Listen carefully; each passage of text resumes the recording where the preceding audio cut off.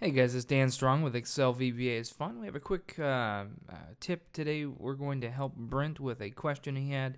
He had a small data set here, and whenever he opens this user form, I'll drag it to the correct monitor.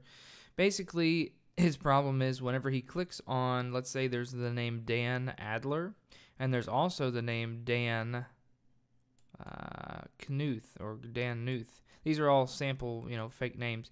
If you click on Dan Adler, it grabs the information from Dan Knuth, uh, which also you can see if you click on Dan Knuth. It doesn't matter which Dan you click on, it'll select the bottommost one. There's a couple reasons for that.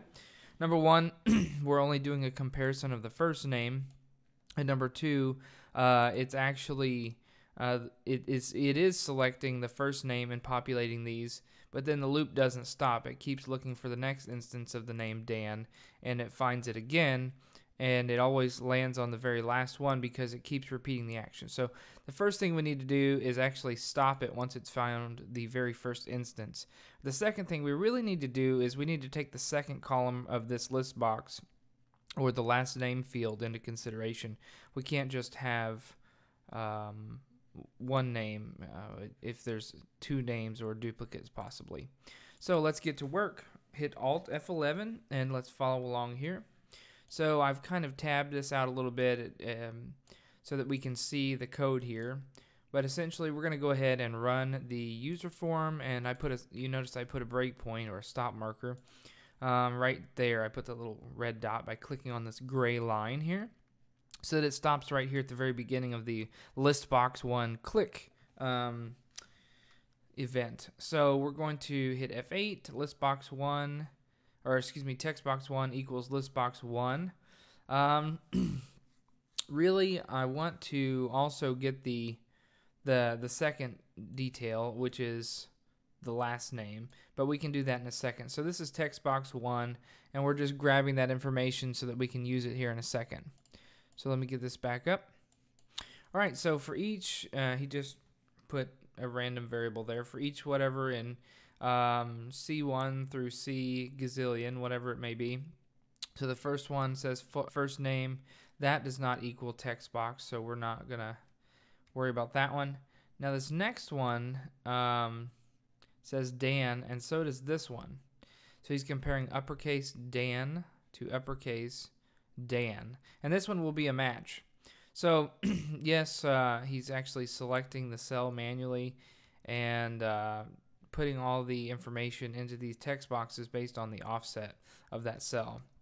So as you can see behind me, uh, we're, we're able to populate those.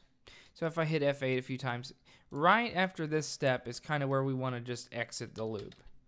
So, uh, excuse me, exit for. So this will exit the for loop uh, whenever we're done with it so that we don't have to loop through the other possibly thousands or tens of thousands of rows. So once we found what we want, we want to exit the for loop and we're done. That way the Dan Adler instead of the Dan Knuth is populated. Second thing we really should do is uh, take into consideration the last name. So I'm going to go ahead and click on, um, let me click on that and then go back to Dan Adler. So I clicked on again. We have a breakpoint. Let's just put a variable, uh, a local a string and we're going to call this um, last name. And that's going to be equal to so we're going to do me dot listbox one dot list. And the list is what we're going to kind of run against. Uh, then we're going to take me dot listbox one dot uh, list index the list index is the actual selection number. It's an index number of whichever one we clicked on. Comma, and this this is kind of interesting. We're going to use column 1 because column 0 is actually where the word Dan is and column 1 is where the the word Adler is. So we want column 1. So let's hit F8. So text box 1 contains the first name Dan, and ls last name now contains the word Adler. So then, whenever we're doing our uh, comparison, we're going to need to take Uh, BUL is the is going to be the first name field in a moment. So right now it says Dan. so we need to do a string convert. Uh, well, he's doing an uppercase str convert. You could also just use the uh, uh, ucase function. So I think I'll do that here. If this equals that and ucase ls last name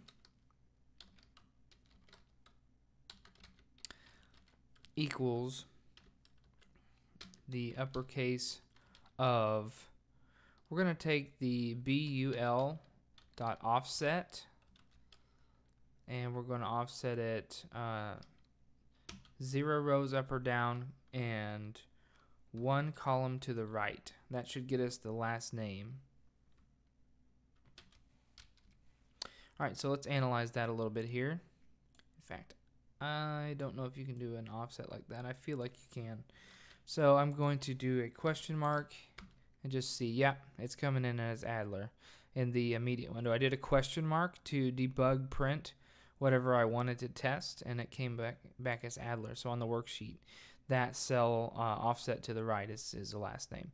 And uh, case of ls last name should be equal. So we have an actual match of the first name and last name. So it's going to go through and populate all this stuff and then exit the loop so that we're done completely. That way, it will actually give us Dan Knuth as well as Dan Adler. It'll differentiate based on the last name column as well.